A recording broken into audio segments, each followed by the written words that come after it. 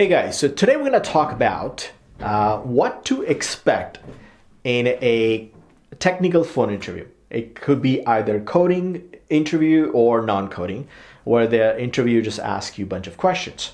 Uh, but there are a lot of nuances uh, in a uh, in a phone interview because when you take an on-site interview, they can see your face, they can hear you. There are a lot of uh, things that are different than phone interview because phone interview, let's say for example, if there is a silence, they don't know whether you're googling the question or uh, getting help from somebody else, right? So uh, it's important to understand how to take a phone interview and what to expect. So today we're going to talk about what to expect in all kind of situations in a phone interview, uh, what kind of tools uh, uh, there might be, uh, what to wear, and how to overall prepare for it.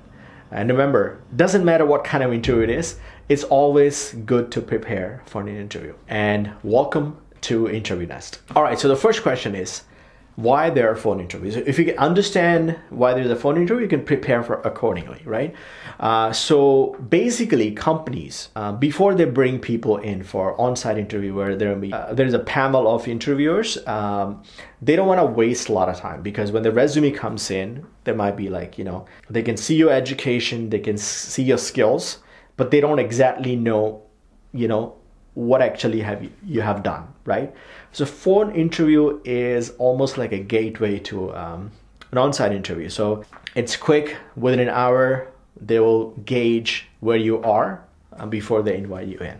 So it's a first filter, right? Now it can be a coding interview where you have to actually live code and they can see what you are coding, or it can be just simple oral interview where they might ask you a bunch of technical questions you know like what is inheritance what are classes you know these are some of the examples. And they can judge based on your answer uh, where you would fit in. All right so let's first look at non-coding interview.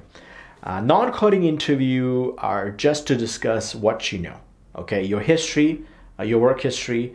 So they verify the resume uh, and then they ask you a bunch of questions. So if there's like a uh, some question where you haven't put your, um, let's say, education or that you haven't put uh, the dates, or their dates are o- overlapping in your resume, they can clarify. Okay. So they may ask you lots of questions regarding that uh, from your resume and what you have done at this particular job.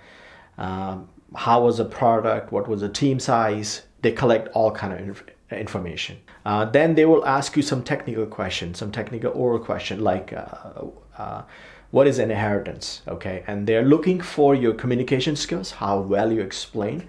Uh, I would I would uh, I would suggest not to give textbook answers. Uh, avoid textbook answer. Just explain in your own term. Give a, a nice example, and you know always ask is that what you first confirm is that what you asked? Uh, so make sure that you are on the same page okay? Now let's uh, let's say if there is a coding interview okay? You would know this in advance because they will tell you okay? Uh, so you would have to be sitting in front of a com- computer right? so that's the first thing. Uh, which means that you have to um, be at a place where you can comfortably take this interview uh, it could be either either um, you know from your home or from a place where you know there's not much noise. For example let's say if you are if you take an interview in the afternoon um, right after lunch. Usually if you take an interview probably at work right? And uh, you need to find a, a quiet place close to your work you can go and set it up and make sure that there's no noise coming from behind. Let's say if you pick a restaurant, um, you can say, hey, uh, can I have a corner where I can do this? Uh, coffee shops are fine, but again, that can be a lot of noise. Also, you need to have a good internet connection um, because let's say if they're providing free Wi-Fi and it's overloaded and it's slow, then it doesn't really work because uh, that might put a lot of negative points on you because uh, they might think that you know you did not you did not choose this place wise first of all i would say most of the time you should you should be ta- taking interviews from the home okay and if you're taking interviews from a home you probably have to take a day off. Now, I would not recommend doing that uh, to take a day off. Rather, I would say ask uh, the interviewer that can you take an interview early in the morning, so before you go to work, or uh, later in the evening, you come early and take the interview. This way, you do this in the comfort of your home, um, where there's no problem. As for the format, uh, there can be two different kind of formats. Okay, uh, one would be a simple. They will call you, and you will um, they will give you a, a link to some code sharing software, which you open, and whatever you type, they can see. Whatever they type, you can see. Right? Uh, you don't see their face. They don't see your face. You basically talk via phone and code on your computer. The good thing about this is if you don't have a fast connection, it's fine because uh, you're only sharing the code, right?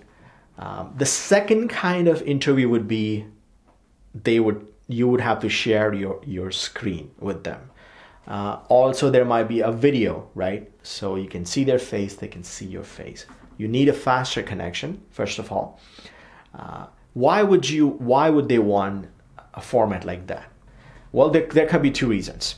a lot of people um, want to make sure that the person who is taking the interview is the real person who is taking the interview because uh, off you know there are times when people cheat and uh, some other person is taking an interview and some other person is actually uh, getting the job right um, because that could happen. So they want to know it is you who is talking. Also if you are googling if you have a computer on the side they can see it. They can see everything uh, that's going on on your screen because they're sharing. And make sure if that is the kind of interview you're taking, make sure that you know this in advance that you're going to be sharing uh, your screen and there'll be a video so you can you you should be able to actually uh, get ready right? Because um, if you're to share your f- video then you you need to look nice at least presentable right? Uh, I know some people just you know get up early in the morning and then take an interview Their hair is messy and everything. That kind of uh, leaves a little bit of a negative impression. So if you know in advance you can prepare. Uh, make sure the background is uh, clean uh, okay uh, if there's too much mess in your in your room uh, then it doesn't look positive it adds a negative image of you right so make sure that you clean it up have a maybe plain white background or maybe a few furniture but no mess. Okay, as for the coding, code sharing software, what kind of software do you expect? Um, there are lots of different uh, tools in market. Uh, basically, they will decide what tool they're going to be using. Uh, it could be a paid one or a free one. Uh, but make sure that you get that information in advance because every tool has some nuances, right? So you need to under- understand what the tool is and how it really works. Uh, because let's say if you never use this tool and suddenly they ask ask you to use it and if you might be wasting some time you know just uh, trying to learn a few things. Let's say if you, if you need to run the code and uh, they'll say oh click on this here and then you say well where? I don't, I don't see and then it's a, so it's a, it's a lot of waste of time right? Instead let them know in advance hey what what kind of tool are you going to be using? So you go download the tool or look at it play around with it understand it. So in an interview you are comfortable with that tool uh, essentially there are multiple kinds of tool available. Uh, there's a one called Collabedit. Collab edit is almost like a where you can just type your code but you cannot execute it. Okay? So almost like whiteboarding. Okay. Um, so something happens you don't know, you cannot debug it because there's no way to debug it. Uh, nowadays, they'll give you something like a CoderPair, uh, where uh, CoderPad or code pair, where um, you can actually put a console log and then see what's happening actually. Um, you can actually output it, you can debug your code right in, inside the tool. Uh, what about the coding question? What kind of question uh, can you expect? in a coding interview. Now, there are multiple kind of question can be.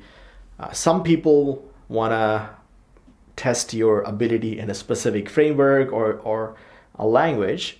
So they'll they'll build uh, four or five small examples of tests. They'll give it to you, and you know it might take five ten minutes to solve each of them, and uh, that's how they judge you, uh, your ability, right?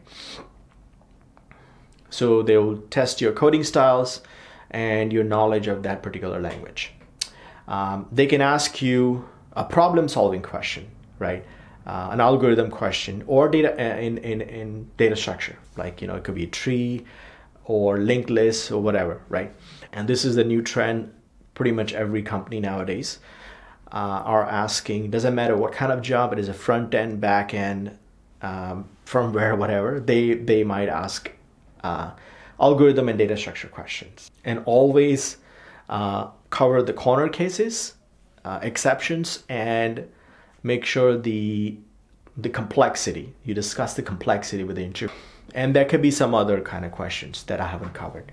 Uh, but typically, uh, in a in a phone interview, uh, you make sure that if there is, if you are thinking, tell them that you're thinking, so you are and constantly communicating. Uh, not over communicating like every second, but at least constantly communicating so that they know what you're doing. So there's no doubt in their mind that they're doing something else, right? Um, this can be tricky. Tell me your experience and uh, what you think about technical for phone interviews. And if you're recently interview interviewing, then if you have recently interviewed or um, interviewing currently, then um, let me know your experience and what kind of thing that you uh, experience and what advice you might have for for the audience. Please share uh, via comment. And I hope you learned something from this uh, tutorial. And if you do, please like. Don't forget to like, like, subscribe, like, subscribe, and provide a nice comment. And if you are interviewing, good luck, and make sure that you prepare before you go.